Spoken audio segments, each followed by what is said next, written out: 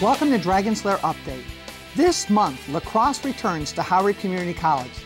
Coach Faust's Dragons battle Suffolk in a top 10 showdown. Then women's lacrosse looks to send Suffolk home empty-handed. Mary Lee Adams closes the show with a profile of Canadian sharpshooters Jarred and Dylan Riley and an all-new Dragon close-up. Men's lacrosse leads off. The Dragons host College of Southern Maryland. Mike Leshner anchors our coverage. Thanks, Diane. Our analyst coached at Howard for 11 years. In his playing days, he helped Towson State reach the national championship in 91 and the national quarterfinals in 92. It's a pleasure to welcome Mike Jones. Great to be here. Howard enters the game ranked sixth in the NJCAA preseason poll.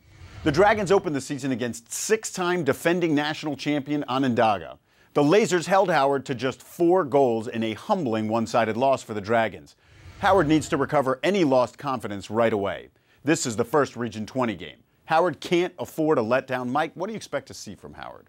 Well, coming off the tough loss to Onondaga, it's important for the Dragons to really rebound in this game. Uh, that means quick ball movement, face-offs are going to be really important, and a solid defensive effort. College of Southern Maryland is just in their second year as a program. They won two games a year ago.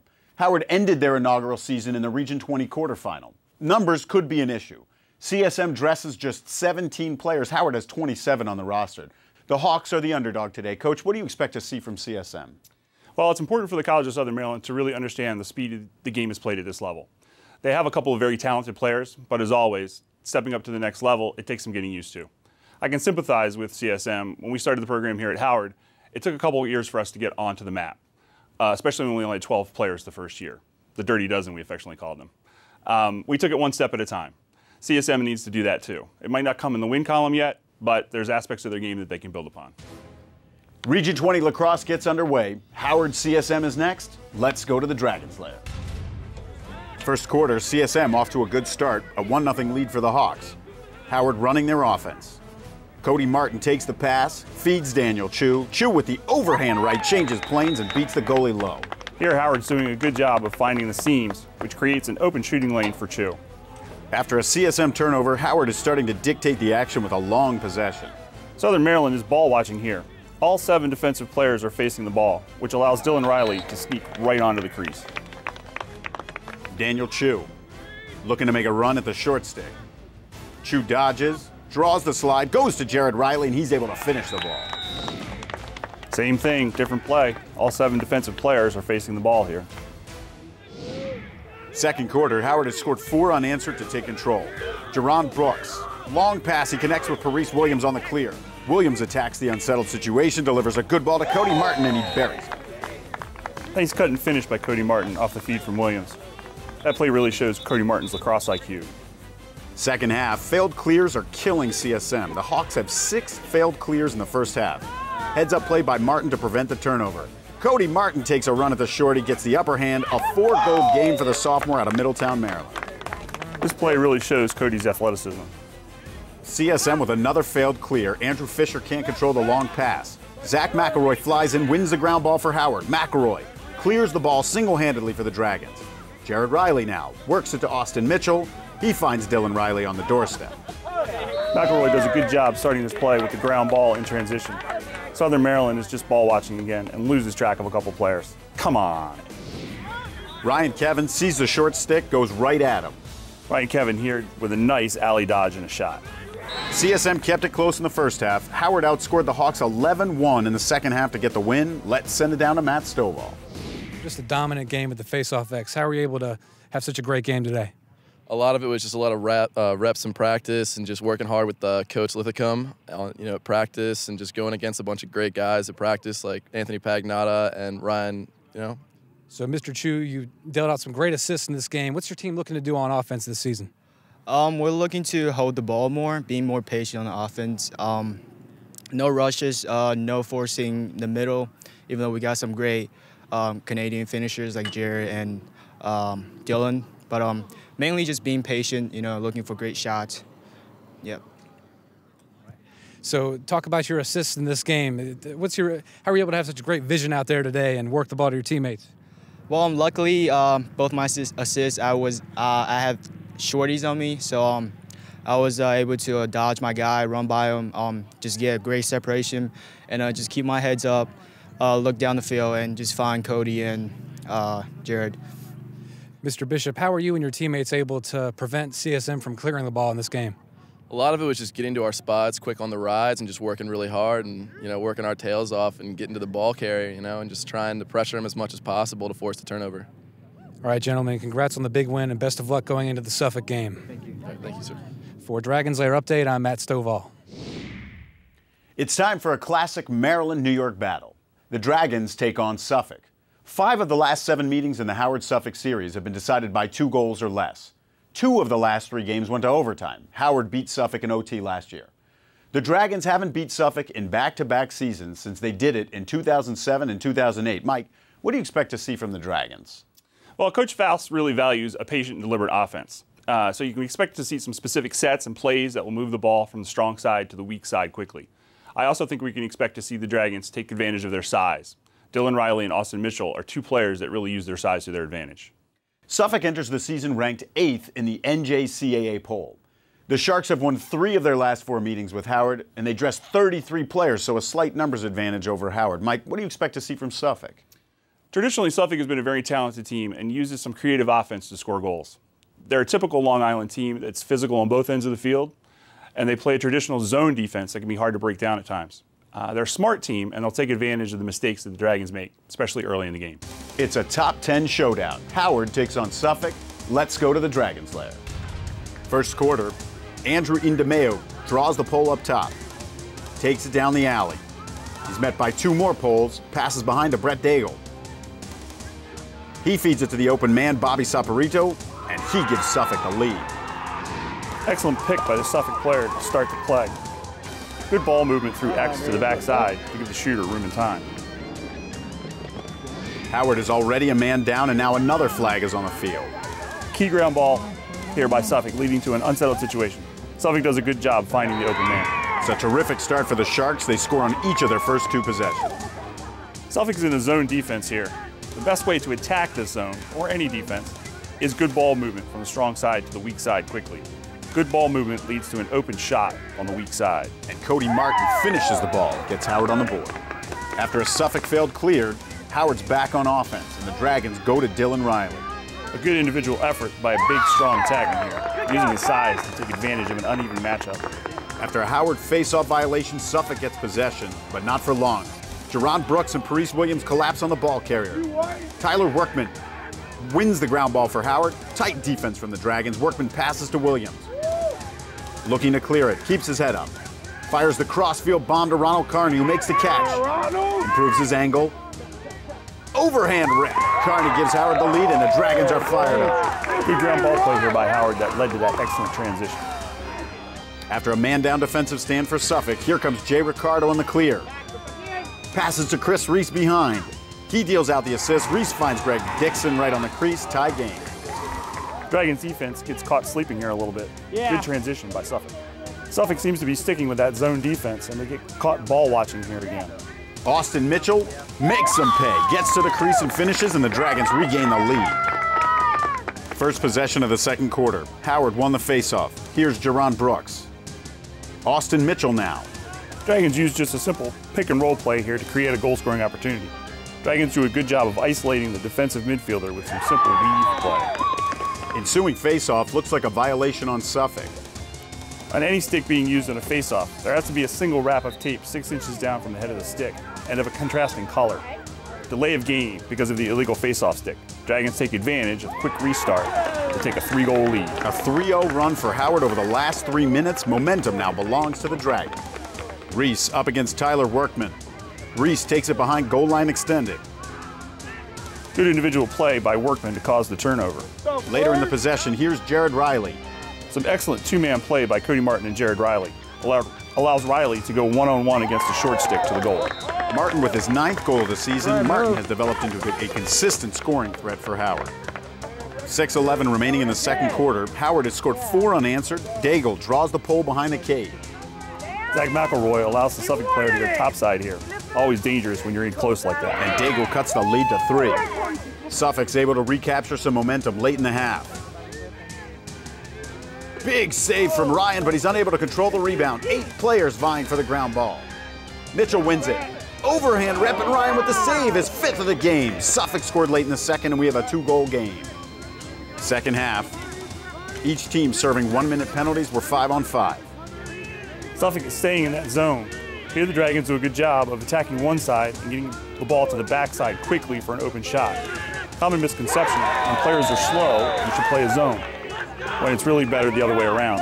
It's hard to cover a lot of ground when you're in a zone and you're not that fast. Ensuing faceoff, Anthony Pagnotta wins it to himself. Even with the new faceoff mechanic, Anthony Pagnotta is still dominating at the X.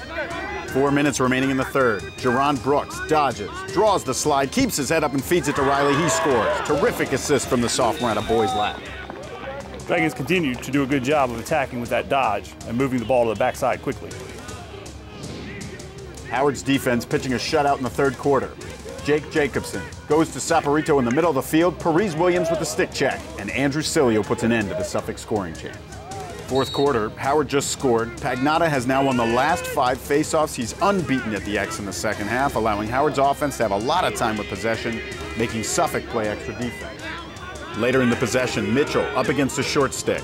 Nice bull dodge by Austin Mitchell to get his hands free for that ripper. Howard has scored four unanswered, 11-5 Dragons with 13-15 remaining. Next faceoff, Pagnotta is on a different level right now. Six consecutive faceoff wins. Pagnotta is doing what he does best, winning the faceoff and heading straight for the goal. Draws a foul and he still manages to score. Riley picks up the junk off the rebound and shows some flash with that behind the back score. Howard outscores Suffolk 9-0 in the second half. 16-5 is your final. Let's send it down to Matt Stovall. Mr. Emery, what was the key to shutting out Suffolk in the second half? Um, well, offense having a lot of possession, a lot of possession time with the ball. Um, other than that, it was tight, communicative defense, and just uh, played them hard, out hustled them. Uh, Mr. Pagnotta, just a dominant game. What was the key to having such a, a big game today for you? Uh, well, I haven't been having that great of a season versus um, Onondaga in my first game, so I've just been taking a lot of reps by myself in my house, and then getting a lot of reps out here during practice and stuff, and just getting back to the way I used to be. So you were here last year when it was an overtime game against Suffolk. What was the difference today? A blowout win. Uh, I think we came out more prepared. Last year we uh, went up there. It was extremely cold. Uh, a lot of people weren't really had their heads into it. I don't think last year. Um, but at the end of the game, we clicked, came back, won. We were down, I think, three or four goals right there in the last couple minutes, and that's just the way this team came out and started to play. So I believe we just came out ready, came out prepared. Gentlemen, congrats on a big win. Thank, Thank you. you. Thank you very Thank you. much. For Dragons Lair Update, I'm Matt Stovall. It's time for women's lacrosse. My guest has posted a winning regular season record in each of the last three seasons, a program first for HCC women's lacrosse. She is also a licensed official for high school and club lacrosse in Howard and Carroll counties. It's a pleasure to welcome head coach Diana Carey. Welcome, coach. Thank you, Diane. Tell me, how have your practices been going thus far? Well, we've had, you know, we've struggled a bit um, between the weather being so, so cold and, of course, the tons of snow. Um, it- that and combined with just trying to get the girls all on the same page, it's, it, we, we've been struggling a bit. But we're really working towards it, and I think that uh, we're almost reaching that corner. Tell me a little bit about the, the makeup of your team. They come from all different levels, don't they? Yes, they do. Absolutely. I have some very experienced girls. I also have some brand new to lacrosse. Um, but you know, it's it's. I don't mind having that difference uh, in experience. Um, but I'm trying to get them all is, is to buy into giving 100% to practice and improving. And you know, as long as you're giving 100%, you're going to get better. And nobody can ask for more than that. So we're just trying to work towards that at this point. So, what are you hoping to accomplish this year? You've been around the league for X number of years now. Um, you've got a brand new team with a lot more first year players and freshmen than you do second year players. So, you changed some goals maybe, but what are what do you want to accomplish Oh, year? our goal is still to be champions um, in our region. There's no question. I think all of the schools right now are struggling a bit with numbers. Um, you know, with a lot of starts of Division two schools, they've really gobbled up a lot of players. So I think all of us within our, our conference are struggling a bit with the you know with the number concept. It's always fun to watch you on the sidelines, and I'm looking forward to watching your team play this year. So, good luck, coach. Thank you very much, Diane. Coach Carey's Dragons battle Suffolk next. Let's go to Mike Leschner. Thanks, Diane. Our analyst played varsity lacrosse at Wild Lake High School. While there, she was one of their top scorers and an Elite 300 camp alum. You might recognize her from Dragon Close Up. It's a pleasure to welcome Mary Lee Adams. Thanks, Mike. Coach Carey's Dragons enter the game ranked fifth in the NJCAA preseason poll. Howard hammered Essex on opening day, scoring a 15 7 win on the road. Mary Lee, describe Howard's game. Howard's strength is their speed. They do a great job of moving the ball down the field, beating their defenders, and then working the ball from the outside to get the quick passes off into the center to finish. Their play calling is very fast. They don't seem like a selfish team to me. I like that they're able to just go in for the goal if they see it, and they're also able to work the ball around and find the cut ins. They play good man on man defense, and they're able to double cover when needed and create turnovers. Suffolk enters the game with a 1 0 record. The Sharks are coming off the biggest win in their young history. Suffolk scored a double overtime upset over two time defending Region 20 District B champion Anne Arundel. Mary Lee, what do you expect to see from the Sharks? Well, Suffolk's strength is definitely their size. They work the ball around the goal more, and they set their plays up from behind the goal. Their defense can be intimidating, though, because of their size and aggression, but they're slower than Howard. They have good stick skills and some strong arms on the offense, so it's definitely going to be a physical game. Both teams are coming off big wins. Howard and Suffolk take the field next. Let's go to the Dragons' lair. First half, Charlotte Wilkinson goes to Erica Heaphy. Heaphy dodging, stops on a dime and finishes high. Heaphy did a great job using her body to spin out and finish the play with a goal. Rebecca Coglin, Katya Randazzo now. Draws two defenders, passes it outside. Good play call by Coach Carey, working the ball outside for the long pass into the center to Heaphy. Howard is doing a really good job of moving the ball. They're bringing it down on the outside, they're working it to the inside to get the shots off. Suffolk needs to play tighter defense. They're giving them too much room to get the ball off. Howard not giving Suffolk any room.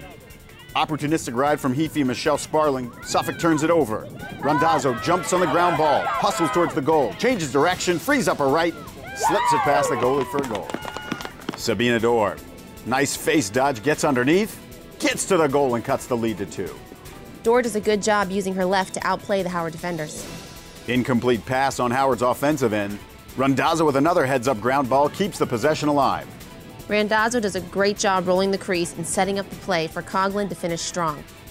Howard is doing a great job of moving the ball and setting up quick plays that seems like it's hard for Suffolk to defend because they're not giving them any time. Howard has outscored Suffolk 3 1 over the last seven minutes. After a stop on defense, here's Rachel Hunter taking it up for Howard. Gets to the middle of the field, draws the slide, passes it to Coglin. What a strike down low to Wilkinson. Excellent pass. Wilkinson puts it away. Second half, Howard scored three and gave up two in the last 13 minutes, keeping their distance on the scoreboard. Dragons with a five goal lead. Suffolk setting up their offense, much slower pace than Howard. Suffolk does a good job of working the ball in and finding the open man for a goal. Nice play call by Suffolk to break up the man on man defense. 22 minutes remaining. Howard answered with another goal. The lead is back to five. Suffolk has yet to score back to back goals in this game. Howard has countered immediately after every Suffolk goal. Look how fast Howard is moving the ball around. Randazzo does a good job working the ball behind the goal and then passes it to Sparling. Howard's play calling seems to be what's setting them apart. Coglin totally outruns her defender and is able to work it into the middle for a fast play. Howard is more going straight to goal, and it's working for them. It's always nice when a coach lets you use your passing and skills to take it straight to goal instead of having to always set up the plays more behind the goal. Suffolk is trying to do the same thing Howard is doing, but the defense is double covering their ball carriers. Right there, see? She couldn't even get the pass off because the defense was so tight. Coglin is doing a good job of covering her left. She's fast and she just takes it in and runs with it.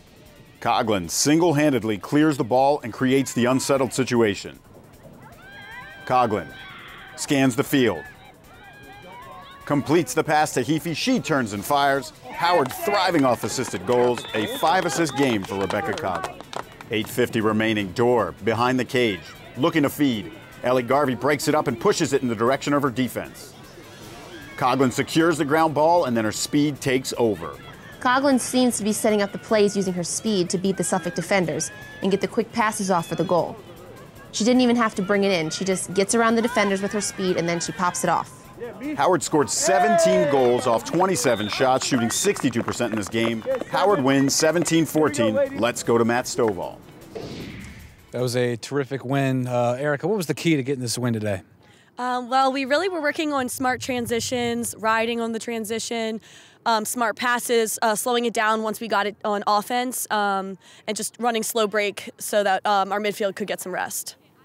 All right, so I've heard surrounding the program, there's been you know people saying, "Oh, we don't have enough players. Um, we're having difficulties at practice." And then I heard there was a talk. Um, Diane came to come and speak with everybody. Can you, what can you tell me about that, Katya? It was a, the big thing was just make sure um, that through the games, through practices, everything we do through the program, that we give our 110% because a lot of times we were not really giving us our all, and we have so much, um, we have a lot to be uh, capable of, and um, we just want to be to our full potential. Erica, have you seen any change since that talk? Um, yes, a lot. Before we were giving half effort, we weren't putting our hearts in. Um, you know, we are low on numbers, so our midfield runs the full game. Uh, we don't have subs for midfield, and since that talk, I've really seen like the effort come up, the energy, the positive. Um, the positive. Yeah, remarks. Yeah, just everything. Everything has been. Uh, we've been meshing Very much better, and we're just giving a lot more effort, which really shows on the field. What does this win do for your confidence and the team's confidence? Um, it boosted a lot. Now we know that we are capable of beating these good teams. We know that we don't need a lot of numbers to do that. Uh, all of us have a lot of potential. We're great players. We just need to work as a team and play smart. So that's what we're doing, and it's working. Yeah, it's working. So far, it's yeah. working. So very excited for that. yeah. Season. I think before we were just struggling. We we didn't have the mindset that we could do it because we're we were low in numbers. But now that we know we can do this and we don't need a lot of players to do it, so it's great. So what else contributed to that mindset change? Um, pep talks from coach, pep talks from uh, the captains. We we want it. We we have the drive to do it, and we have we have all of the players. We really really want it this year. So that's all that it takes. Congratulations on the big win. Really sent a message. Congrats, ladies. Thank you Thank so you. much. For Dragons Lair Update, I'm Matt Stovall. It's time for track and field. My next guest brought home Howard Community College's first national championship. Steve Musselman joins me now. Welcome, Coach. Thank you, Diane. Coach, tell me, how do you think your team is performing this year so far? We're doing pretty good so far. We took a, a little hit with the weather, like I guess most programs. We've been able to get to a few indoor meets, and we remind our students that uh, these teams are getting ready for an indoor conference championship while we're just starting. But we just want to see where they are, what they've been doing with their training, and a good starting point for the outdoor season. Now, since you're in charge of those distance runners and middle distance runners and all those runners, talk to me about your distance runners. Um, how do they look this year? They're, they're looking very good. Uh, again, we had a strong showing to fall from cross country, and a lot of that is carrying over into the spring. Uh, Gary Samoliak we one of the top returners in the steeplechase in 5,000 meters. Brooks Ward, again, qualified for the 10 last year, and, and we're expecting great things from Brooke. And Caroline, Caroline Hayden, who was second to 10,000, uh, she had a breakthrough cross country season, placing in All American status. So we're hoping she'll do it again in the 10,000. Wow. So let's talk about the women's program. Right. We have not a lot of numbers as usual. Right? No, we, we don't have numbers. Um, again, our sport, as with any sport, there has to be a serious commitment made. And, and at times, if they can't make it, and decisions have to be made, and sometimes people just need to walk away. But, but the, the people that we do have, um, Ashley Dogoff, again, returning national champion to 400 meters. Uh, as I mentioned before, Caroline Hayden in the 10,000. Uh, a new bright face is Mary Hurd from Marriotts Ridge, uh, a quality thrower. So we'll make a little impact. Uh, I mean, remember the one year when we had Cherise Green, uh, a stellar student athlete. She placed fifth as a team by herself. So, you know, you get the right people in the right spot, then good things will happen. So, what do you hope to accomplish this year? Uh, again, top five in both programs. Um, a few All Americans. Uh, Howard has a strong reputation for being a, a, quality program and a tough program.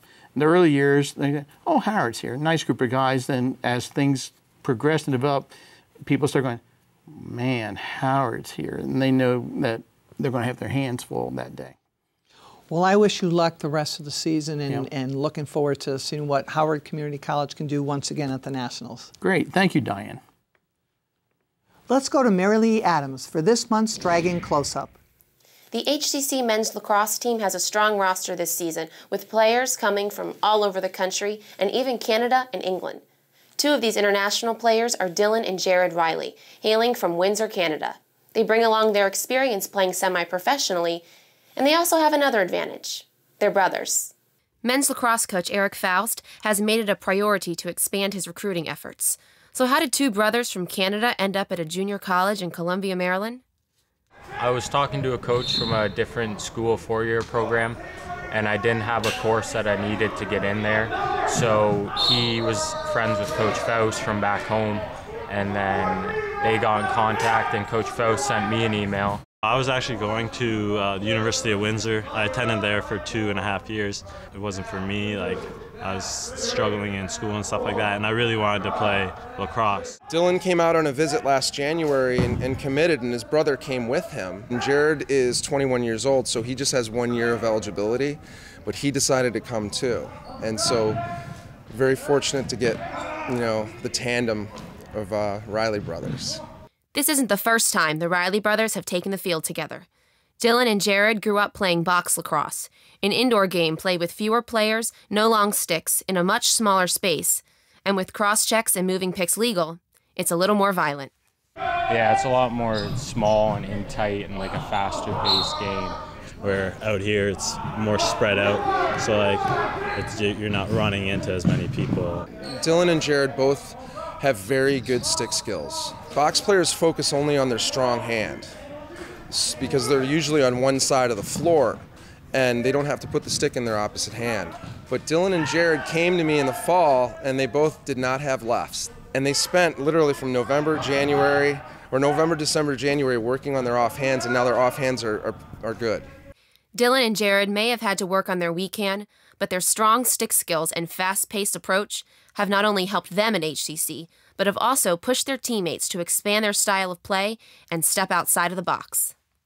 Dylan and Jarred, they're one of a kind. I remember we went to uh, practice at Cedar Lane one day just to just shoot around. It was actually my first time playing with them. They're throwing behind the backs. You see them shoot these crazy shots. It was just something that I never played with. I see it on video, but it's just something I never played with personally. And it really helped me expand my game. Box cross is a completely different game to the field game, so putting Jarred and Dylan out on the field is completely different, but it's great to have them around because it helps your game. Sibling rivalry can lead to a sense of competition and jealousy. Dylan and Jarred could have easily gone down that path. Instead, they've used their bond as an advantage, creating a two man strategy. We actually like playing together because we, we have a good chemistry between the two of us. We're both right-handed too, so we're both normally on the same side of the field or floor. Like over this past year box, we we really developed like a two-man, just me and him kind of working how to play together. They definitely know where each other are going to be at all times, but um, no, they don't have a rivalry. Maybe a little words here and there. They're always looking out for one another, and they never put themselves above above each other. You can tell it's a true brotherly love, and when they get on the field, it's like they might yell at each other, but they know that person can do better, and they always want to push that other one to do uh, the, be the best that they can be.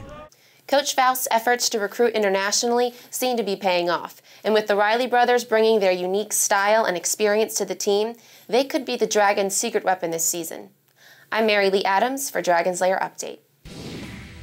For the latest highlights, go to youtube.com slash HCC An all-new Dragons Lair update premieres Friday, May 8th on HCC TV. Thanks for watching, and remember, Go Dragons!